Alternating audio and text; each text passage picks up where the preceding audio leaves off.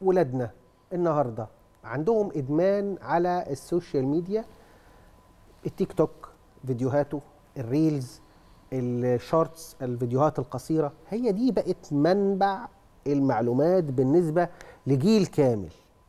تأثير ده على أطفالنا في هذا الجيل يبقى عامل إزاي من فيما يتعلق بالسلوك أو ال- ال- النشاط الاجتماعي. إحنا خلينا نتكلم الأول على تأثيرها على على الطفل عامة أو الكبير أو الصغير بشكل عام. اولا ال social media وإن إحنا نبقى بنبقى متواصلين بيها على طول أو مستمرين في التعامل معاها لوقت كبير ده ممكن بيأثر علينا إن كنفسيا بيدخلنا في مراحل الإدمان. وثلاث ارباع الناس دلوقتي إذا ما كانش كلهم إلا من رحم ربي بقى مدمن لل social media كبير وصغير. طب إحنا بيأثر علينا إيه لما بنبقى إدمان؟ إحنا عندنا مادة اسمها مادة الأدرينالين. دي الهرمون الخاص بالسعادة والرضا. فهتلاقي دايما إحنا عندنا تأهب إن جاي لك like بتجري بسرعة تتفرج ال like بتضحك وبتنبسط. طب جالك أي حاجة تانية؟ أنت عملت مثلا videos وحصل له share ده شيره وده شيره فبتبقى دايما الدماغ عندها حالة تاهب إن هي بيجي لها إشارة بالسعادة فما بقاش كل السعادة إحنا بقى في وقت دايما يعني مفيش رضا ال notifications دي أو الإشعارات دي بالظبط. هي بقت إشعارات السعادة الحقيقية لا مش الحقيقية بس بقت تدي للدماغ order إن أنا سعيد حتى لو السعادة دي مزيفة صحيح. مش حقيقية.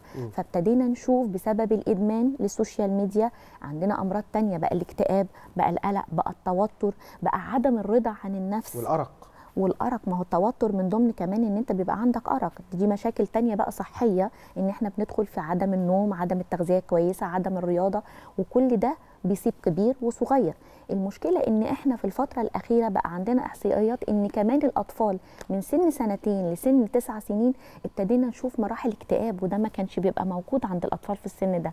ليه؟ لأن بقى ثلاث أرباع الوقت ماما عايزة تخلص من زنه عايزة تخلص من إن هي بتعمل حاجاتها. بابا مش عايز دوشة بيشتغل اديله الموبايل. لا ده كان زمان. دلوقتي بياخدوا الموبايل ويزنوا برضه. ده ده ده ال- ده ال- ده ال update الجديد. المرحلة اللطيفة دي. ده ال update الجديد. فبالتالي بقى دايما قاعد على الموبايل. ده يؤدي على إيه بقى نفسيا؟ إحنا خلاص قلنا نفسيا. دخلنا بقى في الصحة أو في الحالة الجسدية بقى عندنا مشاكل في العين مشاكل في الظهر بقى في تقوس في الظهر عند. الأولاد في تيبس في بعض ال- الفقرات. أو في بعض المفاصل. ده بسبب إنه بيقعد فترة كبيرة ما بيتحركش.